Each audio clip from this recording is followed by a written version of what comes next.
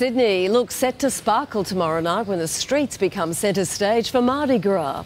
Celebrating 35 fabulous years, the parade is expected to be bigger and better than ever before. Here's Georgie Glover. In an explosion of glitter and glam, Mardi Gras is the night of nights for the same sex community. And now there's just over 24 hours till the fabulous parade begins. Celebrating its 21st birthday, Team Sydney is putting the final touches on its centrepiece. We need, we need someone to jump out the cake. That's what we really do need. You offering? No. for months, they've been working around the clock, spending up a storm on sequins and sparkles, plus 200 metres of lycra, 400 100 LED shoelaces, 500 pom poms, and 100 kilos of glitter. Rewind 35 years, and this loud and proud parade was anything but. We're getting nowhere.